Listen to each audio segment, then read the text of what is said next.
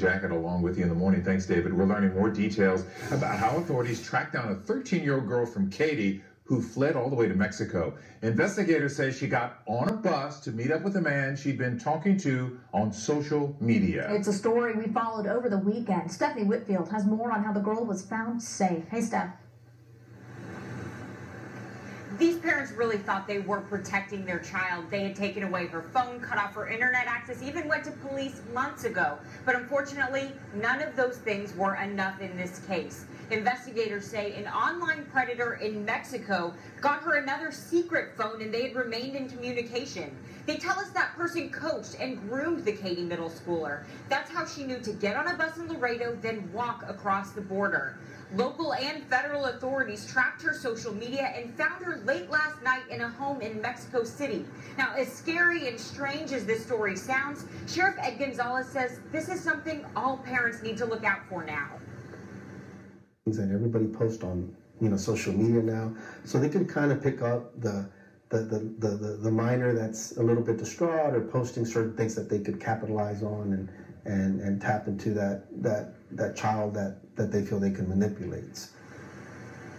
No charges have been filed, and it's hard to say if that will ever happen because the laws are different in Mexico.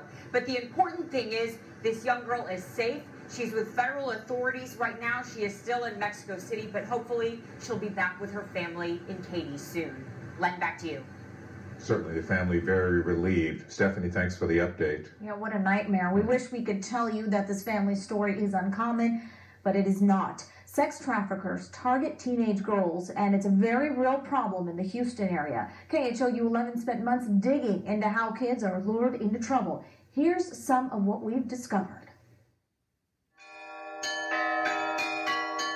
I grew up in church, straight A student, pretty typical girl next door.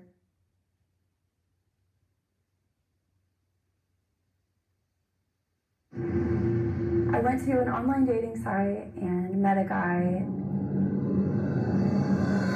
I am told that he's a music producer. You ready? Yep.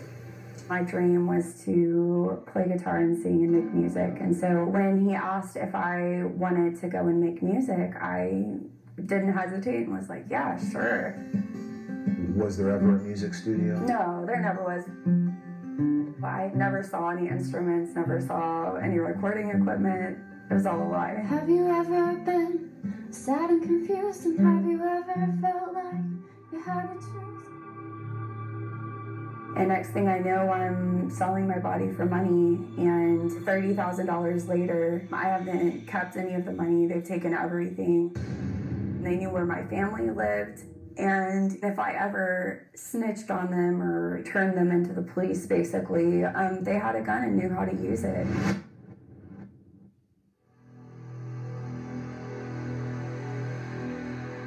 These traffickers are not driving around in a little white van looking at who they're going to kidnap.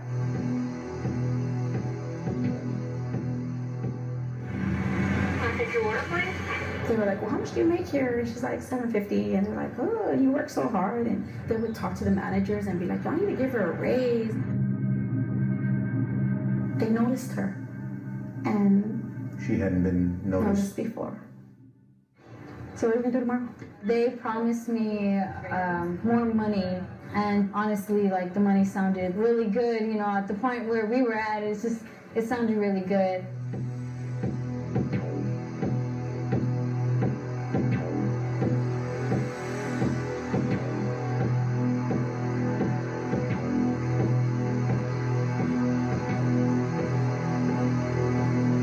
Supposedly she was on her way to Wisconsin to go sell purses around the states. That was the story. That was the story. The Backpage ad was 18 year old Latina, new in town, looking to have fun. I felt mad. I felt beyond mad. I was raged. Um, I started thinking like a panicking mother I kept trying to call her, trying to call her, and they kept going to voicemail. I felt out of control, like I had no control of the situation. It's hell to live in hell that you gotta live day in, day out with Some of the things that she's had to do, some of the things she's seen, she will never be able to undo them. You can watch more of our investigation into trafficking on our website, khou.com slash selling girls. You, it's it's heartbreaking to watch. That girl was gone for eight days. I'd be having a heart attack eight minutes. Yeah. Right? Oh my gosh, you feel for that whole family. It's really something. All right.